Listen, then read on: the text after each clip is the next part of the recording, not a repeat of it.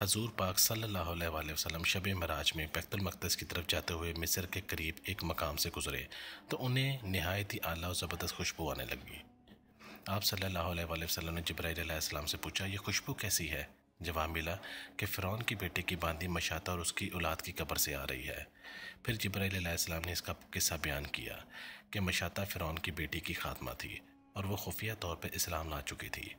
एक दिन फ़िरौन की लड़की को कंगी करते हुए उसके हाथों से इतफाक़न कंगी गिर पड़ी। वो उठाने लगी तो उसकी ज़बान से बेसाख्ता बिस्मिल्लाह निकल गया। इस पर शहजादी ने कहा कि तूने आज अजीब कलमा बोला।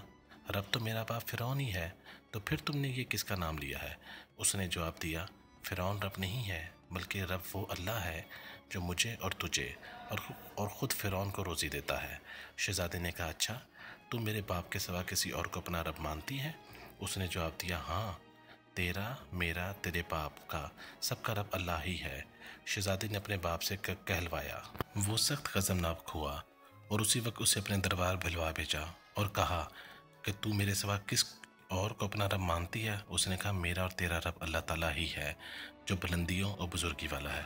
फ़िरौन ने उसी वक्त हुक्म दिया कि तांबे की जो गाय बनी हुई है, उसको खूब तपाया जाए और जब बिल्कुल आग जैसी हो जाए तो उसके बच्चों को एक एक करके उसमें डाल दिया जाए।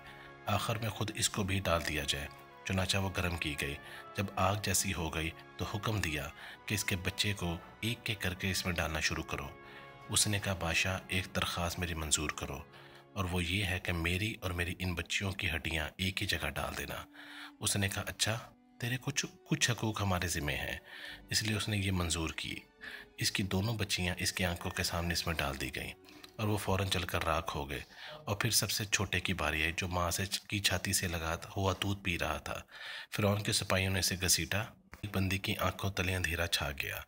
अल्लाह ताला ने उसी बच्चे को उस वक्त जबान दे दी। उसने बा आवाज़ बुलंद किया, अम्मा जान, अफसोस न कर। अम्मा जान, ज़रा भी पेशो पश ना करो।